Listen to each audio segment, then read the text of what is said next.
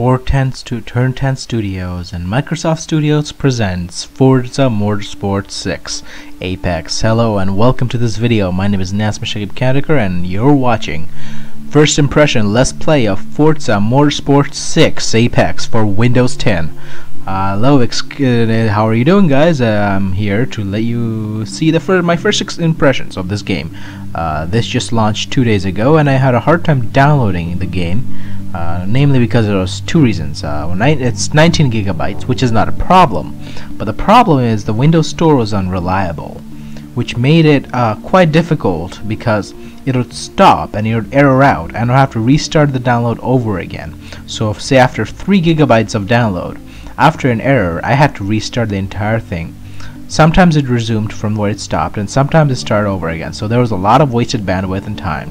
So I decided to give up on it, and then I tried it yesterday, uh, today morning, and it worked. So there you go. You're watching me start up the game for the third time.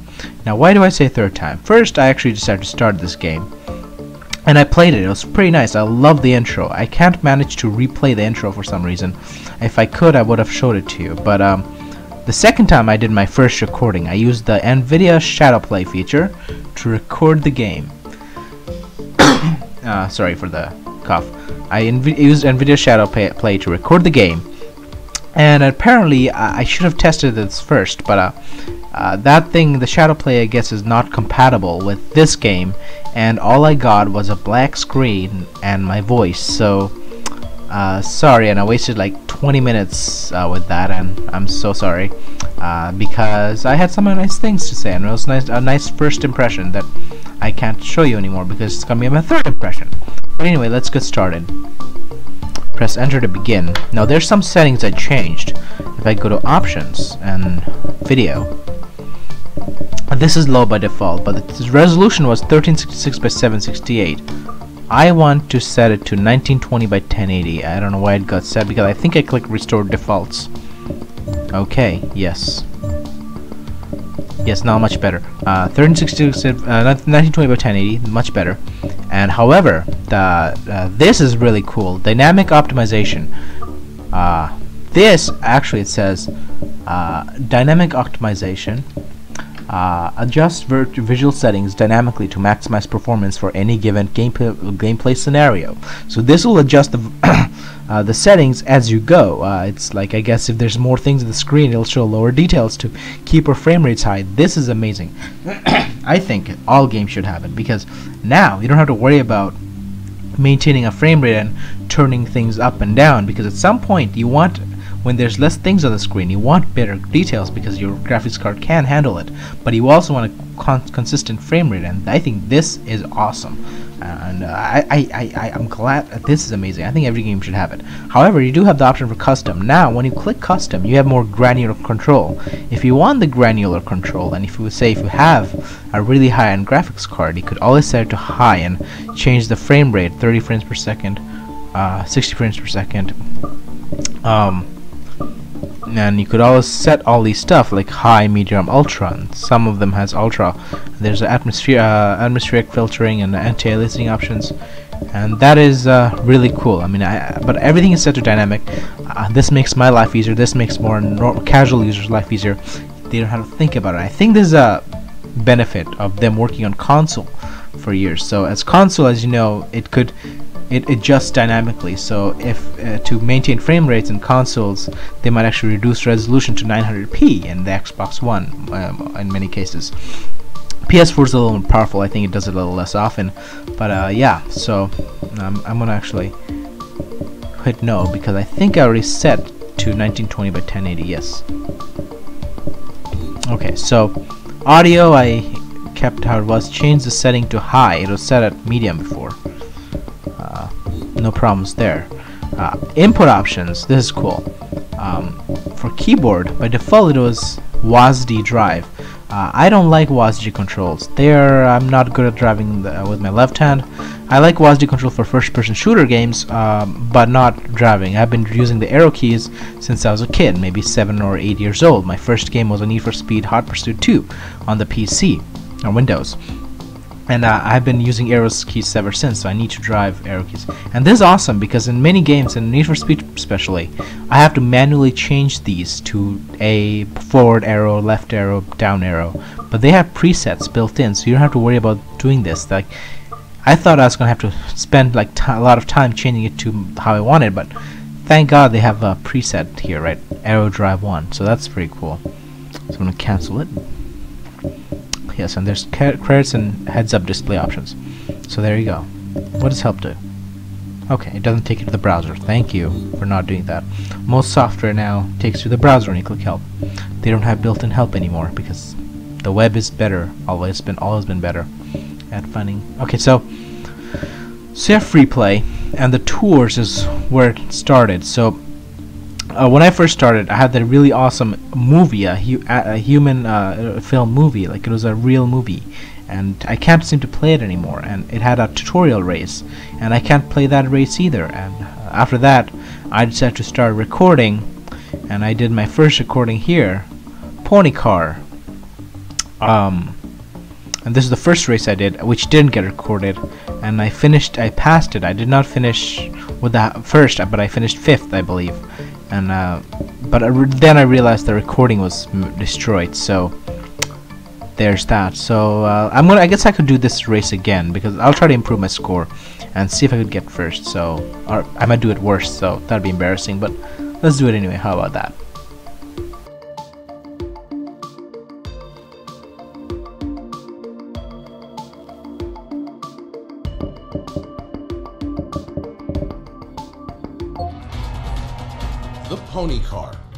American icon.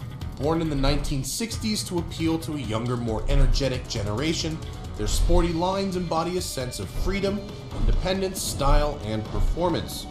As sales of pony cars skyrocketed, US automakers began to offer race ready models purpose built to defeat each other's offerings on the racing circuit. With powerful V8 engines under the hood and race tuned suspensions, these fierce competitors battled it out for the latter half of the decade on circuits across America. Yeah, USA, America baby, USA, USA. Let's select this car type. I changed the color here too. I liked this car really. Um, I also the they don't play intro anymore. The, there's a British guy. I think now the intro option is not there, I guess, unfortunately. But there's a British guy that talks about this. It's pretty nice.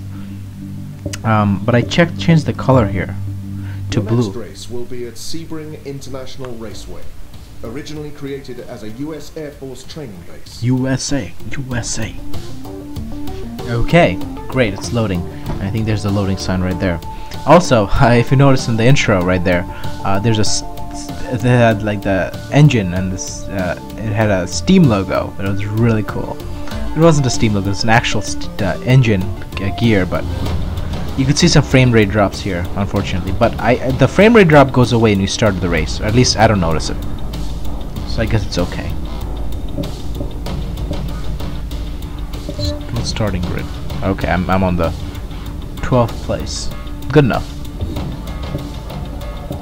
Start race. Let's get started. They said I have to get 6th or more to pass when I first started this. Now, this is not the default view when you first get it. Uh, you your, your default view, which you could change by pressing tab, uh, is this. It's, I mean, you could change your view, and it's awesome to see the cockpit view, as they call it. However, it just takes away too much off the real estate for me so I don't like it uh, not because I don't like this view if I had a 27 inch 4k monitor maybe I could have gone with this but uh, it just takes way too much space and I can barely see anything so I'm gonna switch but I love how he changes the gear or it's an automatic but these cars are always manual but if you set it to automatic the driver's gonna change the gear for you so you don't have to worry about that so Oh, So I'm gonna change the view to this, the hood view. Much better, and I could race much better. This is how I race, and this is how I like it. And now I say in real life, this is how you see actually, because your most of your vision or your most of your focus is on the on the windshield, and you don't notice your uh, dashboard. So uh, and by by playing it on a playing it on a monitor, you're already reducing the field of view. You don't have the full field of view when you as you when you as you do when you drive in real life. And co compound that with the cockpit view, and you have a really narrow field of view, which is barely unplayable for me. So I switched to this view, and it's much better. Crap! Someone pushed me and uh, I really like the rewind feature of this game, which I, I will try not to use because I don't think it's cheating, but I guess I, I, like to challenge myself and try not to crash as much. So I have to be 6 to at least pass the event. I think passing means you unlock the next next event, but I already did that, so I guess I have no obligation except to beat my previous record. Oh crap, see that's what I mean. Press R to reverse. Once you get in the grass, you really slow down. It's really hard to accelerate. Let's do that. Nope. I should have gone more further back. Excuse me. So, yeah. That's good enough. So this is the first. This is not a full let's let's play or a review of this game. It's just a first impression, or as I had said, my third impression because unfortunately the last recording was all botched up. Now this game's running pretty good on this uh, graphics card of mine. My PC is not... Uh, I'm happy with my processor and other stuff. I have a mid-range graphics card here. I uh, got this PC with the G G uh, NVIDIA GeForce GTX 745 with a 4 gigabytes of DDR3 RAM. Um, now, don't confuse this with the GT, uh, NVIDIA GeForce GT 740.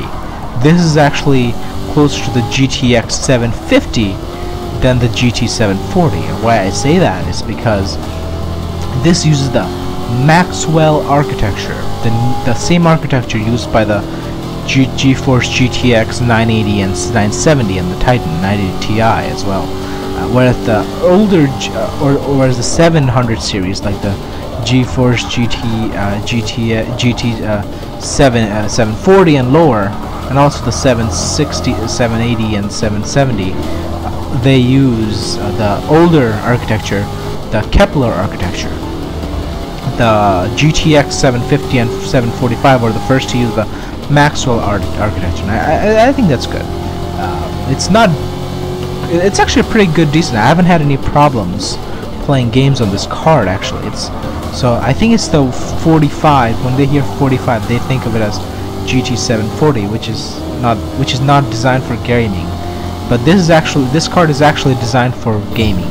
The GTX. Note that this is a GTX 740, not a GT745 is a GT GTX 745. So it's okay. I mean, this game runs good. I mean, you see some frame drops, and that's annoying, but um, uh, but yeah, it's okay. It's playable. I mean, every game I threw at it so far is playable. I haven't had issues yet, although I don't play very demanding games, but I will as I. I guess as I play more games and for this channel I'll, I'll have to play more newer and more demanding games and that, after at which point I might have to look into getting a better graphics card. But I think this will do for now. Although, I feel bad for people who spent a thousand dollars last last week or last month for a Titan, Titan X, because NVIDIA announced yesterday night their latest in their graphics card architecture, the Pascal architecture, and with it, the GTX 1080 and the 1070, which actually beats out the GTX or GTX 980, two GTX 980 with SLI. It beats out that.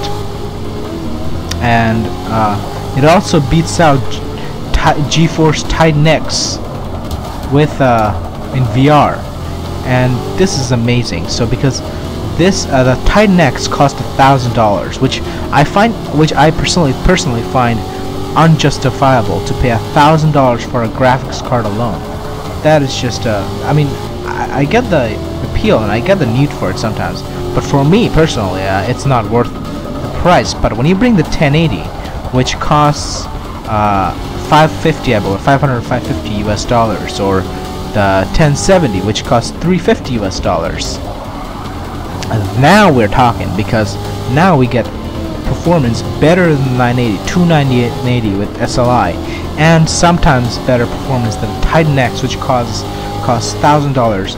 And now we have a mainstream price, mainstream card, or closer to a mainstream card that can play VR really well and has really good performance and that is exciting even if you don't want to get the 1080 it's a new architecture it's more power, power efficient and you go get more bang for the buck and so I can't wait to see when they uh, uh, create more variants like a 1050 1060 1040 uh, and those will also be really really better uh, there you go. I think I finished third. Let's just uh, easy frame rate, frame rate drop here.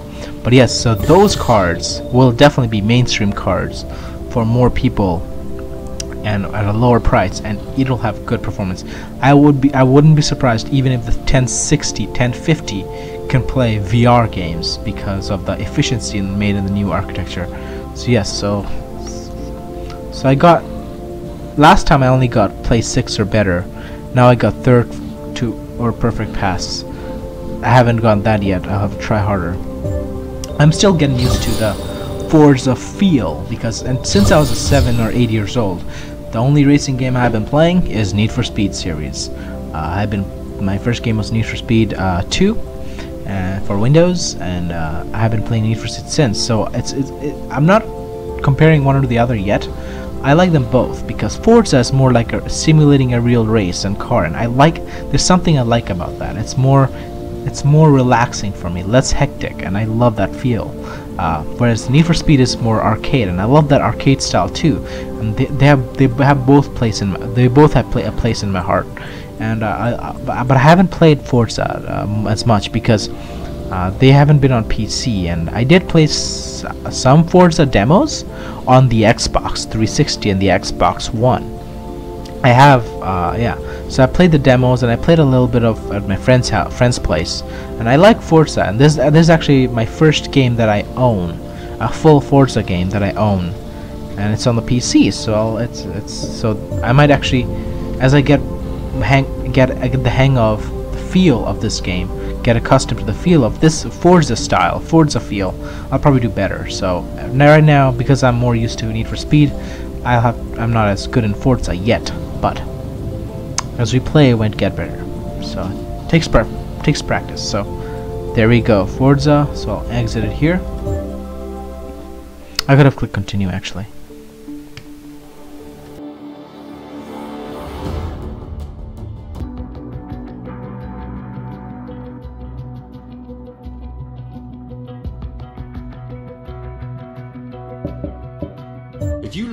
Cars, this is where it all starts. In the empty parking areas and on the city streets where you race your mates between stoplights. We do this in the very first cars we owned, or the ones we saved up for later. We're talking about affordable heroes, cars that bring performance to the people. Whether they're smoking around a patch of waste ground or hammering along a city circuit you designed yourself. They aren't the most expensive and they won't win every drag race, but they all prove one thing. You don't need a million dollars to have a car with a big heart.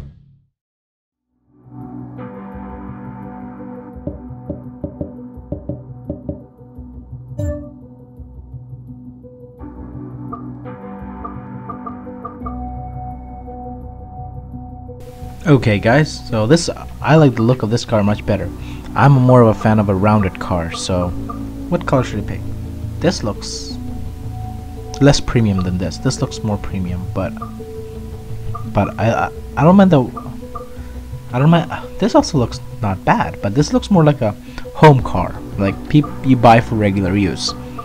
You don't buy these exotic exotic color as often. Actually, maybe you do buy the red, but I, I like the red here, so I'm gonna go with that. Saving. Please do not turn off the app or the devi device. It doesn't say turn off your console, like it usually says. Your second event takes place in the rain at Brands Hatch. Oh, nice, on a wet nice track rain trap. several. Rain, rainfall Tires texture. grip more easily during cornering, braking distances are longer, and deep puddles accumulate, causing a risk of hydroplaning. Okay. Glad to know.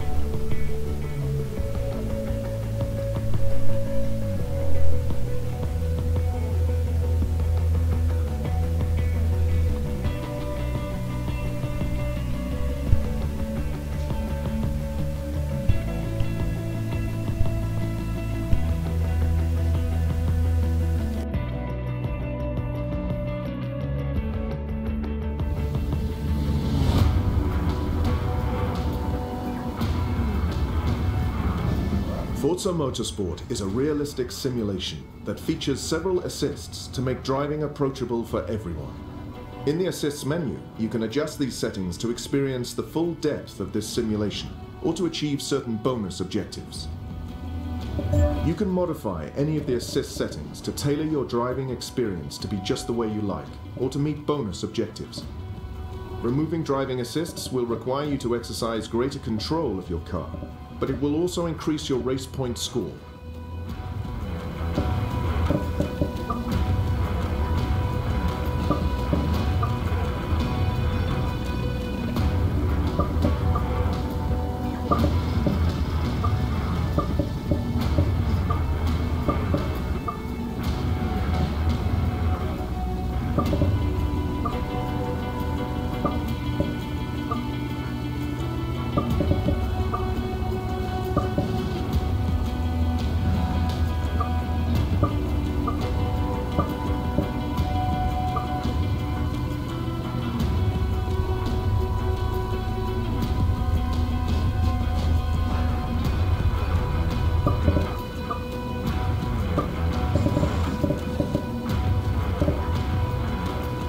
Okay, so just tested out all this. These are amazing granular control actually. That is good. I like it. Um, I'll, I'll get back to this when I get more experienced with this game, but manual with clutch, that's good, and it actually simulates fuel, that is good, that is amazing, okay. So let's go back. Let's start the race. By Drivatar technology, each driver is as unique and competitive as the players who trained them. Great.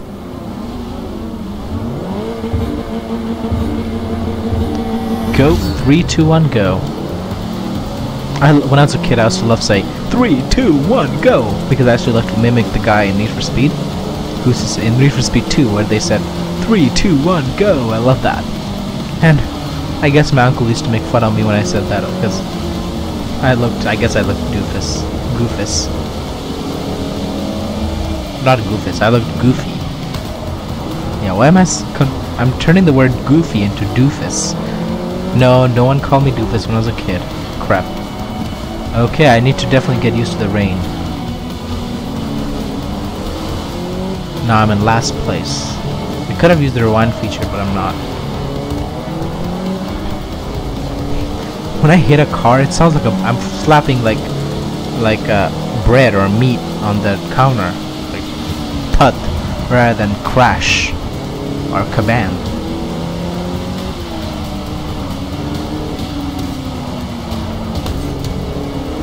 You could hear some glass shattering. I love the rain noise. I'm actually just, I'm actually dis- disable music. Actually, let's do that. Cause I like the rain noise. So, uh, no, not HUD. Heads-up display. I need to go audio. I'm gonna turn in-game music off. Good. No, I did not apply the settings, unfortunately. Except. Yes, because I wanted to hear the rain sounds. Oh, that's so much better. I love this sound. So much nicer. Nope. Okay.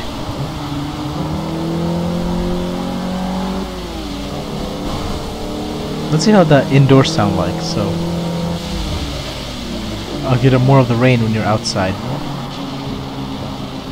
You could actually hear the uh, rain hitting your windshield. That is beautiful. That is beautiful. I love the sound of rain. Just makes me want to curl up in a bed and just sleep. And because there's a windshield wiper. Very nice.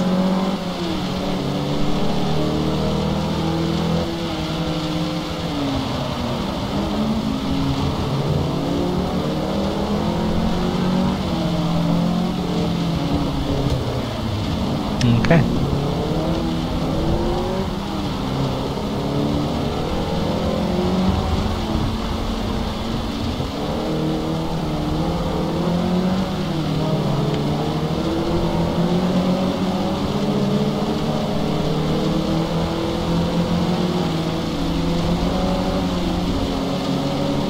Place.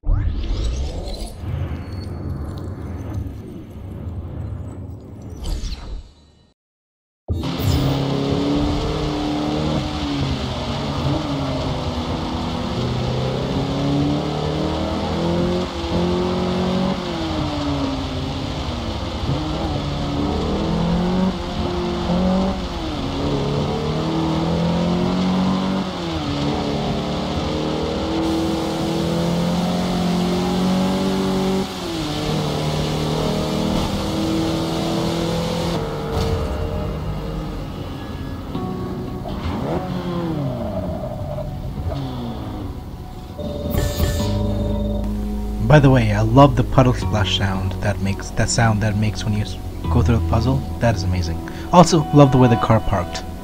I could have done better, but I was actually messing around with my keyboard, taking some screenshots, and the reason I turned my mic off is because I want to hear the nice sound of rain and just relax with the sound of driving. Okay.